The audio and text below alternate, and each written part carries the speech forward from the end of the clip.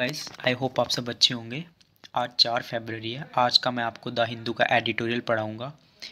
एक एक लाइन को हिंदी में एक्सप्लेन करूँगा। आप कोई सा भी एग्ज़ाम दे रहे हो, जैसे U P S C C A P F assistant commandant U P S C C S C या फिर कोई और एग्ज़ाम जिसमें आपको आंसर राइटिंग लिखना है, या फिर आपको किसी डिबेट में हिस्सा लेना है, या फिर आपके खुद के नॉलेज के लिए, आप एक महीने तक ये सेशंस पढ़ो। आपके पास आंसर राइटिंग लिखने के लिए बहुत सारा मटेरियल होगा। ठीक है? इसीलिए बहुत सारे बच्चों को डिफ़िकल्टी होता है द हिंदू एडिटोरियल समझने में, क्योंकि the Hindu tough word use करता है और तीन चार घंटे बच्चे टाइम वेस्ट कर देते हैं इसको समझने में। ठीक है, मेरा पर्पस ये है कि मैं आपको समझाऊँगा हिंदी में, उसके बाद आप इसको खुद जाके रीड करो, तभी आपको समझ में आएगा। और एक नोटबुक लेके रखना, मैं आपको डिफ़िकल्ट वर्ड मीनिंग बताऊँगा, आप नोट करते जाना। ओके अभी हम लोग स्टार्ट करते हैं और प्लीज़ यार, जो भी देखेगा पूरा वीडियो मतलब लास्ट तक आप वीडियो देखना, तभी आपको समझ में आएगा। चैनल को सब्सक्राइब कर देना लाइक कर देना और शेयर कर देना। और बेल आइकॉन का बटन दबा देना ताकि जब भी मैं नया वीडियो डालूँ डेली मेरा नया वीडियो आता है तो आपको उसका नोटिफिकेशन मिल जाए। और प्लीज़ कमेंट में अपनी सजेशंस लिख देना, जैसे आपको मतलब क्या इम्प्रूवमेंट चाहिए या क्या इम्प्रूवमेंट हुई है। ओके अभी हम लोग स्टार्ट करते हैं। हेडिंग क्या है? Charge sheet scrutiny is not a case of prying eyes ठीक है? इस हेडिंग का क्या मतलब है? चार्ज शीट आपको सबको पता होगा, जब किसी के पास, किसी के मतलब खिलाफ कोई एफआईआर होता है, ठीक है? फ़र्स्ट इन्वेस्टिगेशन रिपोर्ट तो जो पुलिस होती है, उसको सौ दिन के अंदर चार्ज शीट जमा करनी होती है। मतलब जितने भी उस पर आरोप लगे हैं इन्वेस्टिगेशन करने के बाद, वो जमा करने होते हैं कोर्ट में, उसको बोलते हैं चार्ज शीट तो charge sheet scrutiny word meaning लिखिए स्क्रूटिनी स्क्रूटिनी का मतलब होता है जाँच करना, छानबीन करना इन्वेस्टिगेशन करना। Is not a case of prying eyes अब प्राइंग आइस मतलब क्या होता है?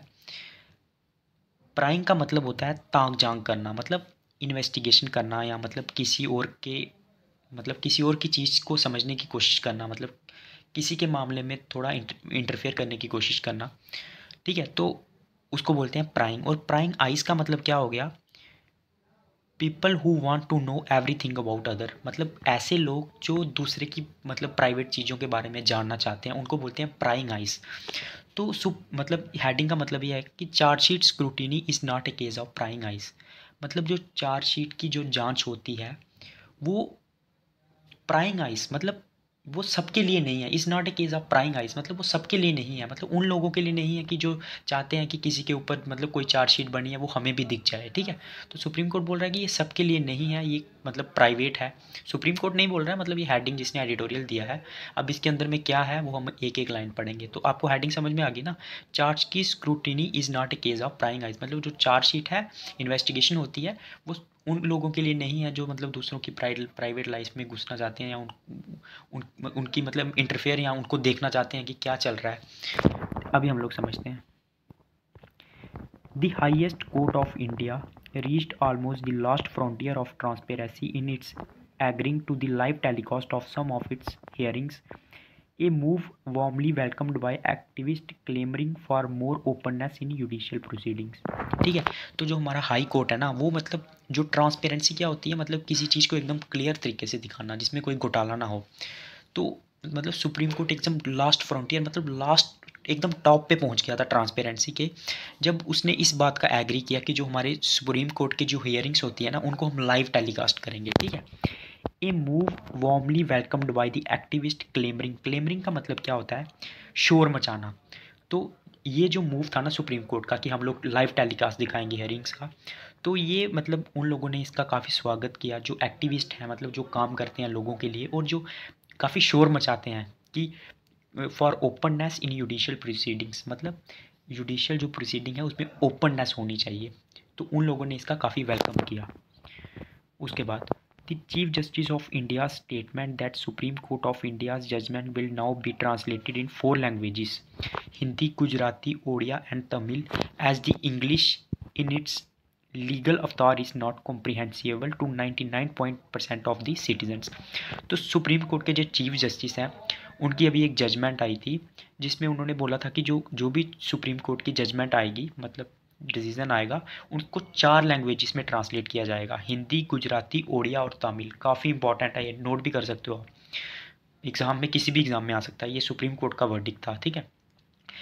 ऐसा क्यों बोला उन्होंने? As the English language is in its legal avatar is not comprehensible मतलब जो इंग्लिश लैंग्वेज है ना, वो सबको समझ में नहीं आती है। कॉम्प्रीहेंसिबल का मतलब होता है सब सबको समझ में नहीं आती। इवन नाइन्टी नाइन परसेंट लोग तो समझ, अच्छी तरह से समझ ही नहीं पाते हैं। This another step towards making judicial process more accessible तो ये मतलब जो सुप्रीम कोर्ट का वर्डिक था कि हम लोग जो भी जजमेंट होगी उसको चार लैंग्वेजेस में ट्रांसलेट करेंगे, ये भी मतलब जुडिशियल प्रोसेस को मोर एसेसिबल मतलब लोगों को समझने के लिए और आसान बनाता है, ठीक है?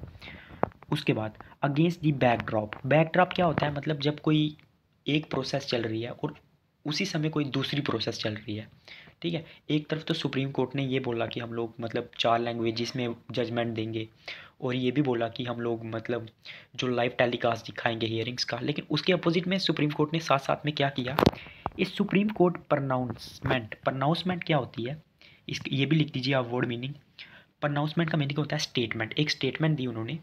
This supreme court pronouncement on charge sheet appears to be retrograde तो जो सुप्रीम कोर्ट ने जजमेंट दी ना चार्ज शीट्स पे उसको हम देखें तो वो एकदम रेट्रोग्रेड है। अब रेट्रोग्रेड का मीनिंग लिखिए।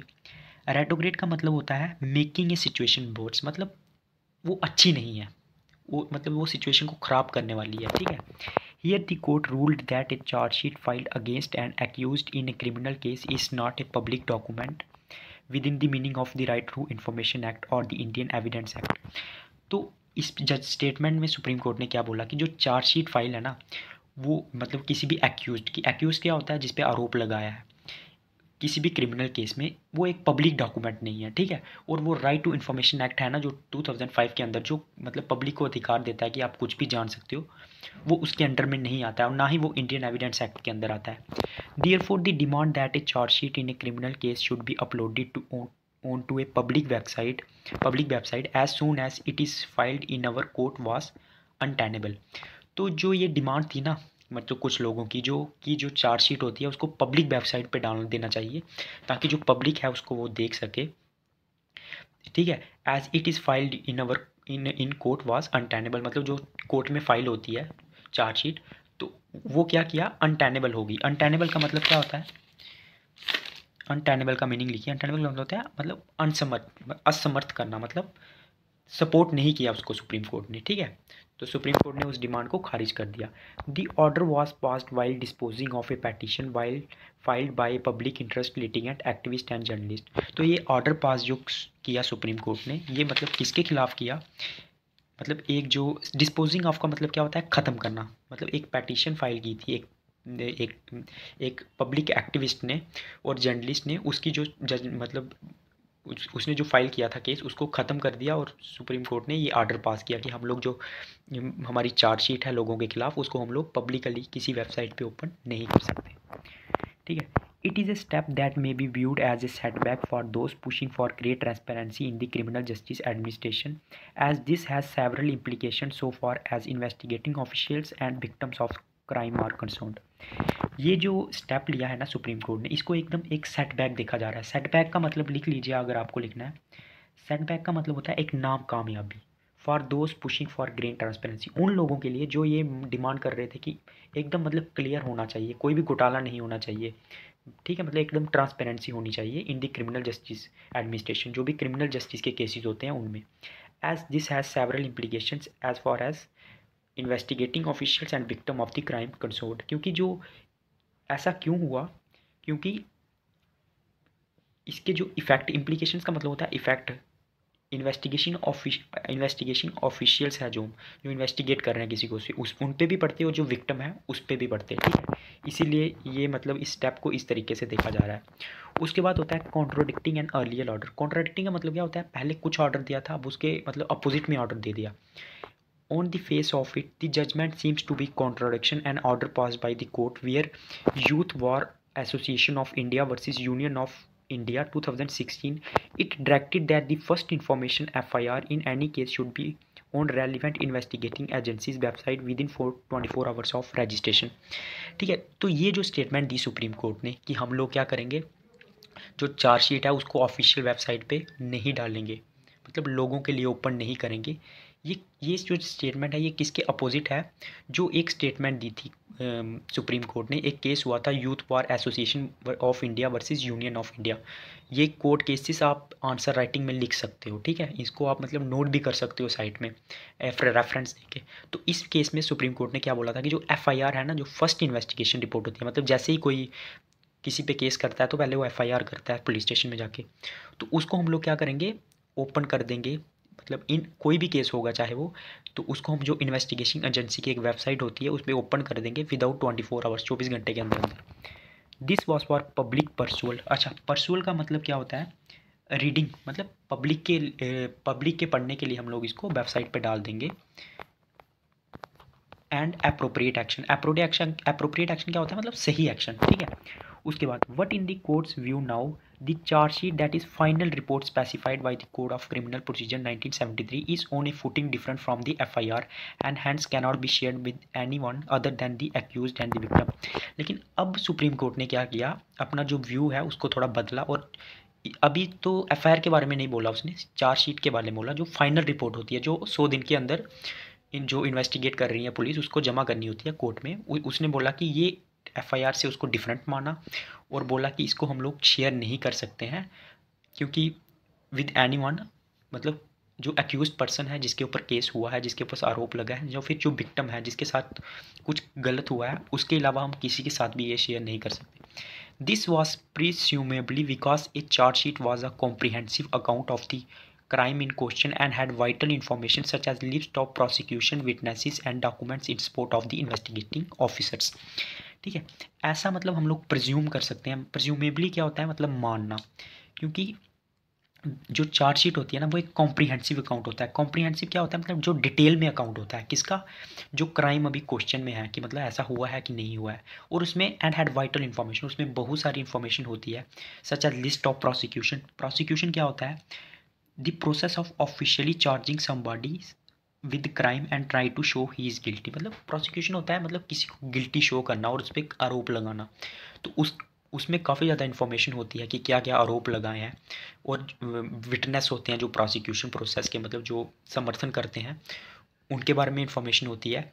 और जो डॉक्यूमेंट्स होते हैं, वो इन्वेस्टिगेटिंग ऑफिसर जो इन्वेस्टिगेशन कर रहे हैं उनकी जो, उन्होंने मतलब जो कंक्लूजन दी होती है कि इस केस में ऐसा हुआ है document in support of investigation officers conclusion ये सारी इन्फॉर्मेशन होती है। इसीलिए हम लोग मतलब चार्जशीट को ये ऐसा मान सकते हैं, ठीक है? उसके बाद through such material would be become public knowledge during the trial in the top court's view. Any action to part with details contained in these documents even before a trial begins would be detrimental to the accused and the victim. उसके बाद supreme court ने क्या बोला कि अगर कोई भी material हम लोग पब्लिक कर देंगे ठीक है ड्यूरिंग ए मतलब ट्रायल जब भी किसी पे केस चल रहा है तो any action to part with details contain in this documents even before a trial begins would be detrimental तो मतलब जो हम लोग शेयर कर देंगे ना इन्फॉर्मेशन पब्लिक के तो जो भी डॉक्यूमेंट मतलब पब्लिक को पता चलेंगे, वो जो मतलब डेट्रीमेंटल का मीनिंग क्या होता है? डेट्रीमेंटल का मीनिंग लिखिए आप मतलब हानिकारक, वो किसके लिए हानिकारक होगा अगला? हम लोग पब्लिक के लिए शेयर कर देंगे। जो अक्यूज है जिस पे आरोप लगा है और जो विक्टम है, जिसके साथ कुछ गलत हुआ है, उसके लिए वो अच्छा नहीं होगा, ठीक है? क्योंकि चार्जशीट के बाद ट्रायल शुरू होता है, उससे पहले ही अगर हम लोग पब्लिकली बता देंगे चार्जशीट दे देंगे तो वो गलत होगा। कोर्ट ने ये बोला, court has observe that open publicity to what is contend in the final report is not within the scheme contemplated by the code of criminal procedure contemplated का मतलब होता है डिज़ाइन तो कोर्ट ने क्या बोला? कि that open publicity to what is contain in the final report मतलब लोगों को दिखाना कि हमारी फाइनल रिपोर्ट जो एफ़ आई आर मतलब क्या बोलते हैं उसको चार्जशीट है, उसके बारे में पब्लिस पब्लिसिटी करना, लोगों को दिखाना, ऐसा कहीं भी कोड ऑफ़ क्रिमिनल प्रोसीजर की स्कीम में नहीं है, ऐसा कहीं भी डिज़ाइन नहीं हुआ है, ठीक है? कोड ऑफ़ क्रिमिनल प्रोसीजर में ऐसा कहीं भी नहीं बोला गया है, ठीक है? टाइम हैव चेंज मतलब टाइम अभी चेंज हो गया अभी इसमें क्या लिखा है हम जब पढ़ते हैं।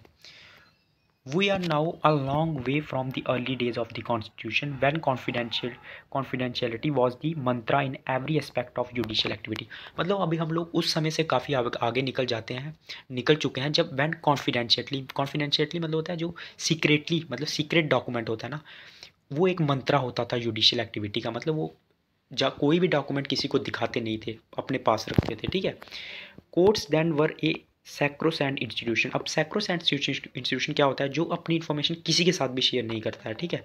We are none of their actions was open to criticism और एनी गाइड ऑफ़ स्क्रूटिनी उस टाइम पे कोर्ट अगर कोई भी एक्शन लेता था, उसका कभी भी क्रिटिसिज्म नहीं होता था और कोई भी छानबीन भी नहीं होती थी। This slightest criticism of judicial decision today fair chance of inviting contempt and punishment अगर थोड़ा सा भी क्रिटिसिज्म होता था ना, उस टाइम पे अगर कोर्ट का तो वो किस चीज़ को न्योता देता था उसके खिलाफ कंटेम्प्ट होता था मतलब उसकी निंदा होती थी और उनको पनिशमेंट भी मिलती थी जो ऐसा करते थे। We now have a situation where जजेस are often criticise in the media for their judicial decision अभी हम लोग इस टाइम पे आ गए हैं ना कि जजेस का खुले तौर पे क्रिटिसिज्म होता है। आपने देखा भी होगा, ठीक है मीडिया में दैट और unconventional and not in line with popular expectation जो काफ़ी ज़्यादा मतलब अनकन्वेंशनल है। अनकन्वेंशनल मतलब जो पहले होता था हिस्ट्री में ऐसा होता था, अब मतलब कन्वेंशनल का मतलब होता है जो पुराना और अनकन्वेंशनल होता है मतलब वो एकदम नया नया तरीका है मतलब। And not in line with popular expectation और मतलब एक्सपेक्टेशन के खिलाफ है ये, ठीक है? जैसा हम लोग एक्सपेक्ट करते हैं उसके खिलाफ है। We have even see a जजिस personal life being subjected to public debate हमने ये भी देखा कि इवन जजिस की जो पर्सनल लाइफ है, उसको भी पब्लिक में डिबेट में डाला जाता है। उस पर भी बात होती है। It is against this backdrop that this supreme court decision to keep chargesheet away from public knowledge could be disapproved by those who are consciously pushing to expand the frontiers of judicial reticence ठीक है? तो अब मैं बताता हूँ आपको। इसके खिलाफ सुप्रीम कोर्ट ने क्या किया? मतलब it is against this backdrop मतलब इसके पीछे सुप्रीम कोर्ट ने क्या किया? जो सुप्रीम कोर्ट का डिसीज़न था to keep chargesheet away from public knowledge मतलब चार्जशीट है जो उसको पब्लिक नॉलेज से बाहर रखना कुड बी डिसअप्रूव्ड फायदोस उन लोगों ने उसको डिसअप्रूव किया जो कॉन्स्टेंटली डिमांड कर रहे थे वो are constantly pushing to expand the frontiers of judicial reticence reticence का मीनिंग लिख सकते हो आप? मतलब unwillingness to talk about something मतलब किसी के बारे में बात नहीं करना चाहते। ठीक है?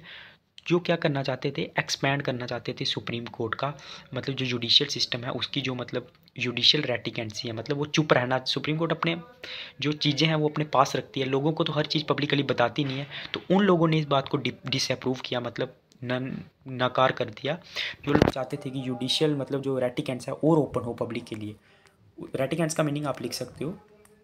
नॉट टॉक अबाउट समथिंग किसी के बारे में बात नहीं करना चाहता। उसके बाद जो इसने आर्टिकल लिखा है, उसने अपना व्यू बताया। In my view sharing a charge sheet with public on demand is very much in order तो आप लोग अपना ओपिनियन बता मतलब इससे बना सकते हो, ठीक है? लेकिन इस बंदे ने जिसने आर्टिकल लिखा है, मैं आपको बता देता हूँ, ये कौन है? ये former director of central bureau of investigation है। तो इसका ओपिनियन आप किसी भी आंसर राइटिंग में लिखोगे, मैं नहीं बोल रहा हूँ आप इनका लिखो, लेकिन मैं आपको ऐसे बात कर रहा हूँ, या किसी की डिबेट में बोलोगे तो वो मायने रखता है, ठीक है?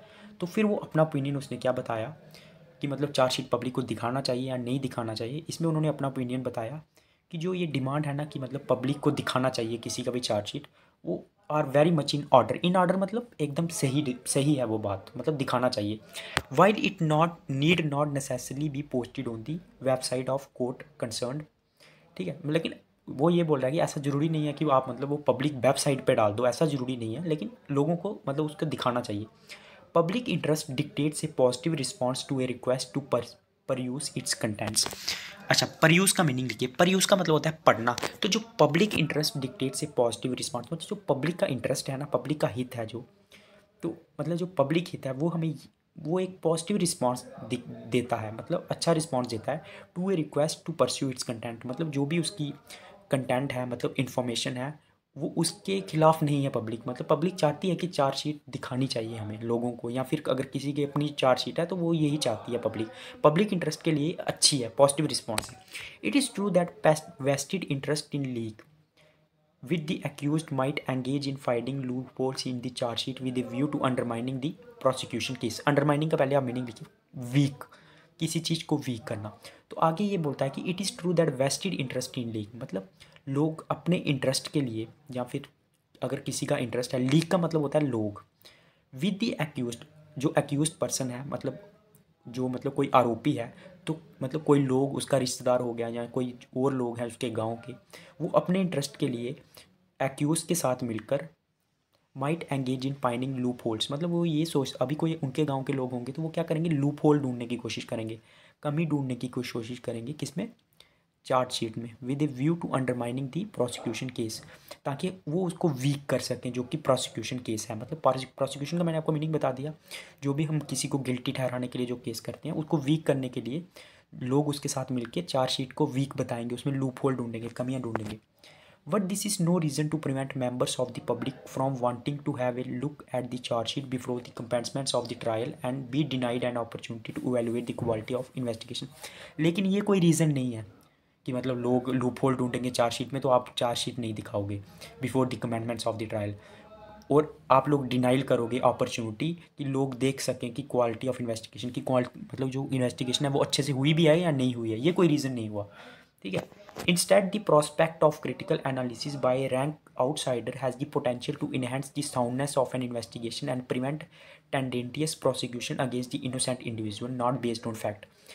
हालाँकि इसके अलावा जो प्रोस्पेक्ट है ना प्रोस्पेक्ट का मतलब क्या होता है आज आशा hope it is instead the prospect of clinical analysis by rank outsider मतलब जो उम्मीद है कि जो मतलब अगर अगर आउटसाइडर मतलब जो बाहर का आदमी रहेगा उसके पास पोटेंशियल है to enhance this soundness of investigation जो इन इन्वेस्टिगेशन है उसको और मज़बूत करने की। उसको भी पता चलेगा इस पर क्या चार्जशीट लगी हुई है। तो वो और स्ट्रांग को केस मतलब इन्वेस्टिगेशन को और उससे स्ट्रांग हो सकती है। एंड प्रिवेंट टेंडेंटियस अच्छा टेंडेंटियस का मीनिंग लिखिए controversial controversial prosecution against innocent individual अब किसी पे मतलब को मतलब वो इस चीज़ को भी रोकेगा, अगर पब्लिक को पता चल जाएगा चार्जशीट में क्या लिखा हुआ है। अगर किसी के ऊपर स्टैंडर्ड मतलब कोई कॉन्ट्रोवर्शियल केस चल रहा है किसी इनोसेंट बंदे पे जो कि जो कि मतलब किसी फैक्ट पे बेस नहीं है, ऐसे ही लगाया हुआ है इस चीज़ को भी रोकेगा ताकि किसी इनोसेंट को सजा ना मिले। ठीक है? We know how some investigation are malicious and prejudice due to extraneous concentration हम ये भी जानते हैं कि मतलब हमें ये पता है कि बहुत सारी जो इन्वेस्टिगेशन है वो मेलिकिशियस मेलिकिशियस मतलब जो ईविल मतलब ख़राब होती हैं और जो पक्षपात करती हैं, ठीक है? क्योंकि जो क्योंकि जो बाहरी लोग हैं मतलब जो मैं बाहरी लोग मतलब पब्लिक नहीं बोल रहा हूँ मतलब जो बाहर के जो स्ट्रॉन्ग पॉलिटिशियन है वो क्या करते हैं उसमें उसमें मतलब इंटरफेयर करते हैं। इसकी वजह से इन्वेस्टिगेशन ख़राब हो जाती है, ठीक है? A trial court will actually benefit from outsider scrutiny actual में क्या होगा, अगर कोई बाहर का बंदा स्क्रूटिनी मैंने आपको बता दिया, छानबीन करना, अगर मतलब बाहर के बंदे को भी चार्ज शीट के बारे में पता चलेगा तो वो भी शा अपनी छानबीन करेगा। तो इससे कोर्ट को भी बेनिफिट होगा, क्योंकि आपको पता ही आजकल लोग सोशल मीडिया पे कितना एक्टिव होते हैं, हर डिटेल निकाल देते हैं बंदे की, ठीक है? तो इससे कोर्ट को फ़ायदा होगा of the prosecution case if a charge sheet is made available to the public अगर पब्लिक को आप लोग चार्ज शीट दे दोगे, ठीक है? ये उसका ओपिनियन है जिसने ये आर्टिकल लिखा है। आप अपना ओपिनियन भी इससे बना सकते हो। उनका ओपिनियन भी लिख सकते हो। सेंट्रल ब्यूरो ऑफ़ इन्वेस्टिगेशन के डायरेक्टर हैं वो। उसके बाद इन लॉस्ट चांस मतलब खोया हुआ chance this Supreme Court order is wake up call to all investigation agencies including the Central Bureau of Investigation which has often been assailed by courts for delays in filing a chargesheet और for the poor quality of investigation तो ये जो supreme court ने judgement दी है ना, वो एक वेकअप कॉल है किन के लिए जो सेंट्रल ब्यूरो ऑफ़ इन्वेस्टिगेशन है जो और भी इन्वेस्टिगेशन एनर्जी है, जो क्या करती हैं which is assailed by courts assailed का मीनिंग आप लिखिए। असेल्ड का मतलब होता है मतलब डांटना अटैक करना। तो उस मतलब विच इज़ असेल जो कि डांटी जाती हैं कोर्ट के द्वारा। क्यों? क्योंकि वो डिले करती हैं चार्जशीट फाइट करने में। या फिर उनकी जो इन्वेस्टिगेशन की क्वालिटी है, वो पुअर होती है, ठीक है? Court scrutiny is a good feature in India's criminal justice system that reasonably ensure that false prosecution of an innocent individual is not only an aberration and not a rule तो जो court की scrutiny होती है मतलब जो court छानबीन करता है, वो एक अच्छा फीचर है हमारे कॉन्स्टिट्यूशन में, ठीक है? वो इन जस्टिस सिस्टम जो कि क्या इंश्योर करता है कि कोई इनोसेंट बंदे को मतलब दैट फॉल्स मतलब किसी इनोसेंट बंदे पे जो फॉल्स आरोप लगा है, वो एक एब्रेशन है। एब्रेशन का मतलब क्या होता है? नॉट एक्सेप्टेबल मतलब उसको किसी इनोसेंट बंदे को वो सज़ा नहीं होने देता है जो कोर्ट है, ठीक है? तो ये एक अच्छा मतलब फीचर है जो कोर्ट अपनी तरफ़ से जाँच करता है, ठीक है? क्योंकि पुलिस के बेसिस पे वो सज़ा नहीं देगा, ठीक है? वो पूरी जाँच करके, पुलिस की चार्जशीट के बेस पे वो सज़ा नहीं देगा, ठीक है? उसके बाद ट्रायल चलेगा, उसके बाद सज़ा देता है। तो ये जो कोर्ट बने हैं ना, एक अच्छा फीचर है इंडियन कॉन्स्टिट्यूशन का a chance for well meaning members of the public to study a chargesheet at least in important cases before a trial begins will only sure that prospect of loosely framed chargesheet will be fewer in number तो जो एक chance था public के पास कि वो chargesheet को study करे मतलब at least in important cases at least उन केसेस में जो बहुत ज़्यादा इंपॉर्टेंट होते हैं पब्लिक के लिए बिफोर द ट्रायल बिगन्स मतलब ट्रायल शुरू होने से पहले कोर्ट का। ट्रायल क्या होता है? मतलब केस शुरू होने से पहले। विल ओनली एंश्योर क्या एंश्योर करता है ये चीज़? मतलब दी प्रोस्पेक्ट ऑफ़ प्रोस्पेक्ट मतलब hope of loosely frame chargesheet will be fewer number मतलब जो लूजली फ्रेम मतलब जो चार्जशीट कमज़ोर चार्जशीट है, जिसमें घोटाला हुआ है, जहाँ काफ़ी कमज़ोर है, वो मतलब कम हो जाती नंबर में, क्योंकि पब्लिक खुद चार्जशीट को पढ़ती उसमें लूप होल ढूंढती तो जो चार्जशीट वीक चार्जशीट है, जहाँ जिनमें कुछ घोटाला हुआ है, वो कम हो जाती। एक एक लाइन मैंने आपको हिंदी में एक्सप्लेन की है, ठीक है? तो प्लीज़ यार चैनल को सब्सक्राइब कर देना बेल आइकॉन प्लीज़ पक्का दबा देना, और कमेंट कमेंट मेरे को चाहिए, ठीक है? कमेंट जो भी वीडियो देखेगा प्लीज़ कमेंट कर देना, और लाइक कर देना, और शेयर कर देना ओके और अगर आपको वर्ड मीनिंग के लिए, जो इंपॉर्टेंट वर्ड मीनिंग है, उनको अगर आप मतलब उनके लिए आपको अलग से वीडियो चाहिए, या फिर कोई डिमांड है तो कमेंट बॉक्स में लिख देना, ठीक है? ओके जय हिंद।